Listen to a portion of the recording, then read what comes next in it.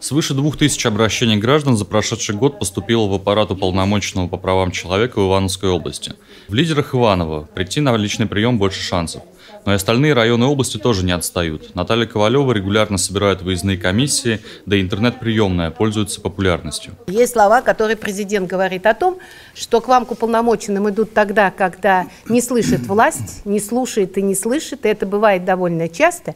И что интересно, у вас не всегда, но часто что-то получается. Несмотря на отсутствие административных ресурсов, аппарат уполномоченного может реально помочь каждому человеку в трудной ситуации.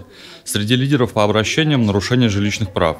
Тут и проблемы обеспечения муниципальным жильем, и проблемы со старым жилищным фондом, когда на людей фактически сыплется потолок. Жители говорят, что больше всего нарушается право. А когда право нарушается? Когда его нарушает сама государственная власть. Да?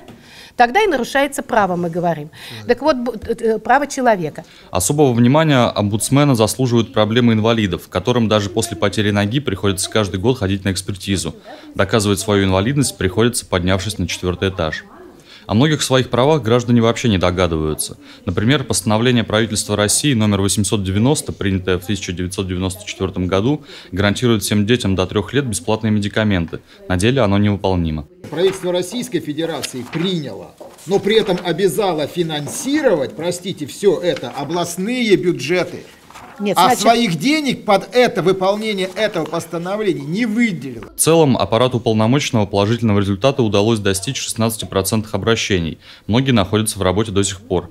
В отношении иных ситуаций уполномоченный направляет свои рекомендации как федеральным, так и региональным властям с целью улучшения ситуации с исполнением прав человека.